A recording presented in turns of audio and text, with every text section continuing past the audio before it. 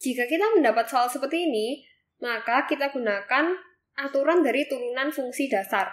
Yang pertama, jika kita punya AX pangkat N, jika diturunkan adalah N dikali A pangkat X pangkat N minus 1.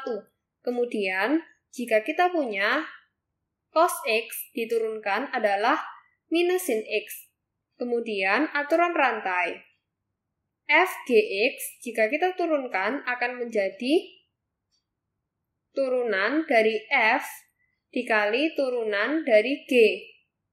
Kemudian di sini kita punya minus cos X kuadrat minus 4X ditambah 1.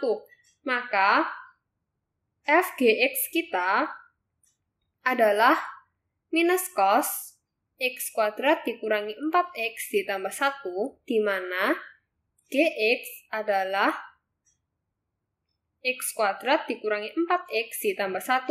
Kemudian turunkan f.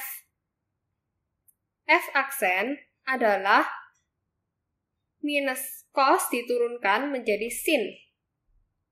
Kemudian dalamnya tetap x kuadrat dikurangi 4x ditambah 1. Kemudian turunan dari g adalah 2 dikali x pangkat 1 dikurangi 4 kali X pangkat 0 yaitu 1. Jadi dikurangi 4. Jadi Y aksen adalah sin X kuadrat dikurangi 4X ditambah 1 dikali 2X kurangi 4.